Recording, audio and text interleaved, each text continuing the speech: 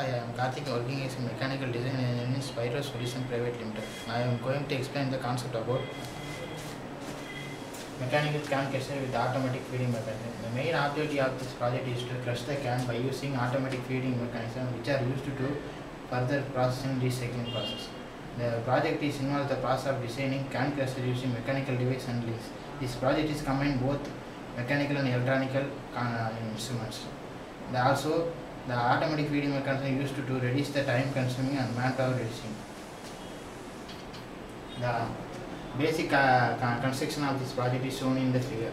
The, this project consists of compressor, flow control valve, solenoid and double acting cylinder and relay switches, microcontroller, IR sensor and driven driver pulley and driven pulley and motor used to drive the motor.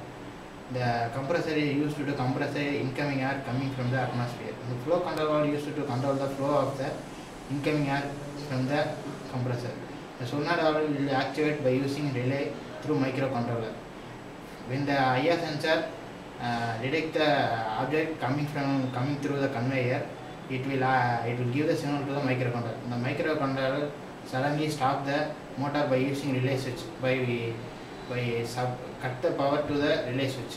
Uh, then the it will also activate the relay switch to the solenoid valve. When the solenoid valve will activate, the double acting cylinder will move forward forward uh, that that will crush the can. The cans are feeding in the uh, feed by using conveyor belt.